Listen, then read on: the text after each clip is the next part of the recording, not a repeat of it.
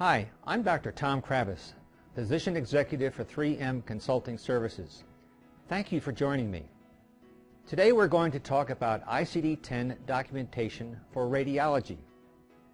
There are some changes you will need to make in your documentation to support ICD-10, but there are instances of documentation that can remain the same. Let's get started. By the time we're finished, you'll have a clearer picture of ICD-10. I know you are busy in your clinical practice, so I'll briefly summarize the key takeaways. In your radiology documentation, consider the use of adjectives, link the cause and effect of conditions, be specific about aspects of disease and each anatomical site, as well as laterality when appropriate. A little more on each of these. Differentiate in your report whether a condition is healing, old, severe, acute, and so forth whenever appropriate. For example, document healing fracture of midshaft of left femur. Use due to or secondary to to indicate cause and effect such as pathologic fracture of femur due to malignancy. Think about the most current terminology to describe a condition or different aspects of the disease. For example, pan-acinar emphysema instead of emphysema when appropriate. ICD-10 codes have more specific anatomical descriptions than ICD-9. Precisely designate anatomical site such as embolism of middle cerebral artery or trimalleolar fracture of left ankle. Ask yourself what else could I add to my report that would better communicate the condition, disease process, or injury I am reporting on that would better communicate the resources needed for patient care. Incorporating these aspects into your documentation will result in an accurate picture of your patient's severity of illness and risk of mortality. This in turn will result in accurate public reporting on quality and outcomes. And it will help reduce the number of queries you will receive to clarify your documentation. In the upcoming slides, we'll take a look at some diseases and procedures that have new documentation requirements under ICD-10. In ICD-10, there is a feature called laterality for right, left, and bilateral, which is found in many diagnoses and procedure codes involving paired organs, or those codes specific to one side of the body versus the other, for example, inguinal hernia. This feature of ICD-10 by itself is responsible for a substantial increase in the number of codes which you have probably heard so much about. Since you usually include this information in your radiology reports when applicable, additional documentation will typically not be needed. It's best to document this information as part of your diagnosis statement, such as fracture of the shaft of the left humerus or tear of the right meniscus, cyst of the left ovary, or carcinoma of the upper outer quadrant of the right breast. If you happen to omit laterality when needed, it may result in a query for you to clarify this in your report. Suffice it to say, laterality is included when appropriate for many of the areas of the body you may be examining radiologically. So do a quick double check of your report to be sure you included it before signing off. We'll try not to belabor this point in the upcoming slides. ICD-10 provides a unique seventh digit to identify the episode of care for which the injury or condition is being treated. These are initial encounter, subsequent encounter, or an encounter related to a sequela of an injury.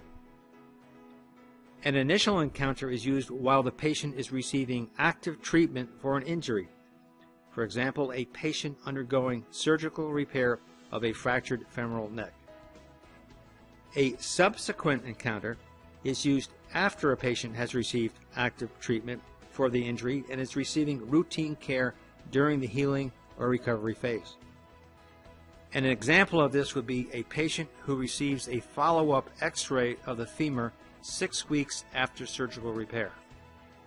Sequela is used for a complication or condition that arises as a direct result of an injury such as a patient diagnosed with traumatic arthritis of hip following a fracture of the femoral neck. I am making you aware of this new ICD requirement because you may get some questions about this from the coding professionals who are coding your radiology reports. ICD-10 codes distinguish between open and closed and displaced and non-displaced fractures. In some cases, unique codes are provided for the specific part of the bone fractured, for example, greater or lesser trochanter of the head of the femur. Fracture orientation should also be specified, such as green stick, transverse, oblique, or spiral. And of course, right versus left when applicable is also a required component. There is additional specificity provided in ICD-10 for fractures of the forearm, femur, and lower leg, as well as for physeal and sacral fractures.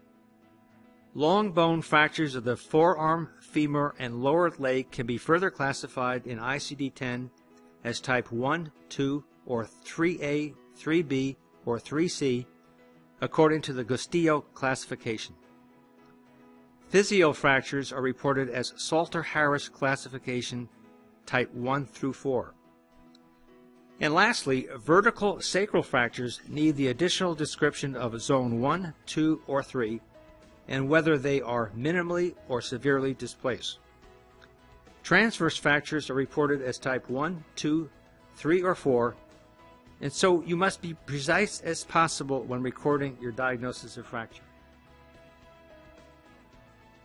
As discussed earlier, ICD-10 injury codes require a seventh digit to indicate whether an encounter is initial, subsequent, or sequela.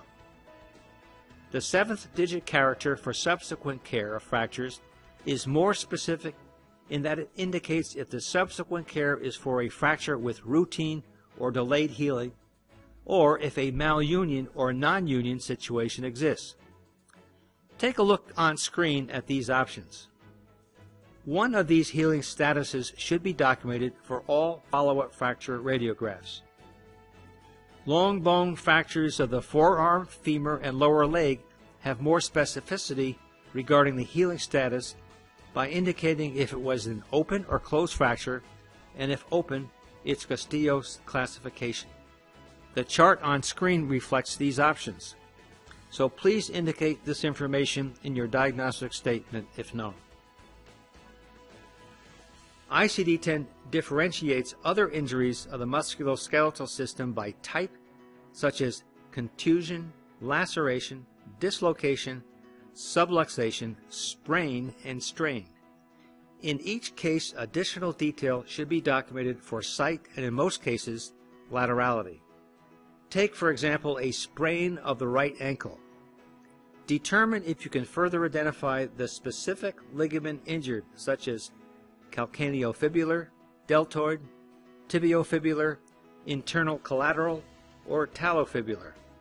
If so, document sprain of right calcaneofibular ligament of the right ankle, for example, rather than right ankle sprain. What remains the same with cerebral infarction? The etiology of a cerebral infarction or stroke is still classified primarily by the cause or etiology, that is, whether it is due to thrombosis or embolism. What's new? ICD-10 has a number of new codes for cerebral infarction which identify the specific artery involved and, when applicable, whether it's the right or the left vessel. For example, you see here the codes for cerebral infarction due to thrombosis of the anterior cerebral artery. This is a good example of the anatomic specificity in ICD-10. So be sure to include in your report the artery affected and its laterality when appropriate. As with cerebral infarction, additional documentation that will be needed for patients with non-traumatic subarachnoid hemorrhage is the artery affected as seen here on the left. Documentation of sites other than the artery, such as parietal, results in a query of the reporting of a code that states unspecified intracranial artery. As seen here on the right, non-traumatic intracerebral hemorrhage requires documentation of the actual anatomic site of the brain affected, such as the subcortical or cortical hemisphere. As in ICD-9, ICD-10 classifies myocardial infarction by type, STEMI versus non-STEMI. New in ICD-10 is the ability to report the site or location of the STEMI by coronary artery affected. If at the time of radiology exam you don't know the coronary artery, document as much as you do know, such as the wall of heart affected. Note that no additional documentation is needed for the location of non-STEMI. Here are the examples of ICD-10 codes for a STEMI. Note that the codes are first categorized by anterior or inferior wall, then additional specificity is provided for the coronary artery. Also note that certain terms crosswalk to certain codes. For example, a transmural myocardial infarction of the inferior wall is coded to other coronary artery. The key here is describing the MI with as much specificity as possible regarding the type and location in terms of the artery, wall, or other site affected. Most types of emphysema were grouped into a single ICD-9 code. What's new in ICD-10? Separate codes are provided for specific types of emphysema. If you are able to determine the type of emphysema, such as pan-acinar, proximal, acinar, centrilobular, and so forth, and document it accordingly, it will assure that a unique ICD-10 code for that condition can be reported. I'd like to spend a few minutes talking about radiology ICD-10 PCS codes, which are codes used to report radiologic procedures. Let me clarify that these codes would only be used by hospital coding professionals for radiologic procedures performed on a hospital inpatient. You will still use CPT codes to submit claims for radiologic services you may provide to any patient, whether it is an inpatient or an outpatient. Even though you won't be reporting ICD-10 PCS codes for your services, it's worthwhile mentioning because there are some definite differences in ICD-10 radiology coding when compared to ICD-9, which may result in some queries from hospital coding professionals. We'll talk about some of the differences in the upcoming slides. The ICD-10 PCS radiology section is comprised of five imaging categories which are plain radiography, fluoroscopy, computerized tomography, magnetic resonance imaging, and ultrasound. The fifth character of an ICD-10 PCS imaging code identifies whether a contrast agent was administered. Furthermore, if a contrast agent was used, it is identified as high or low osmolar. Take a look on screen at the PCS table for plain radiography of the urinary system. The contrast section has been highlighted. I mentioned contrast agents on the previous slide because the coding professional is going to be reviewing your radiology report to determine if a contrast agent was used. Since you typically include this information in your radiology report, additional documentation will not be needed. I recommend that hospitals prepare a formulary of sorts of the contrast agents they use in their imaging departments and identify each agent as high or low osmolar in order to assist the coding professional to quickly and easily identify the osmolarity of the agents used, which will ensure accurate code assignment. The ICD-10 PCS nuclear medicine section is comprised of six categories, which are planar nuclear medicine imaging, tomographic nuclear medicine imaging, positron emission tomographic imaging, non-imaging nuclear medicine uptake, non-imaging nuclear medicine probe, and systemic nuclear medicine therapy. The fifth character of an ICD-10 PCS nuclear medicine code identifies the radionuclide administered during the procedure. On screen, you will see the PCS table for planar nuclear medicine imaging of the endocrine system with the radionuclide column highlighted. The coding professional will review the nuclear medicine report to determine the radionuclide administered to the patient. I know you include this information in your report, so the good news is that there are no new documentation requirements for nuclear medicine procedures. ICD-10 requires more detailed descriptions in your documentation of anatomical site, laterality, and aspects of a disease, injury, procedure, and circumstances of patient encounters.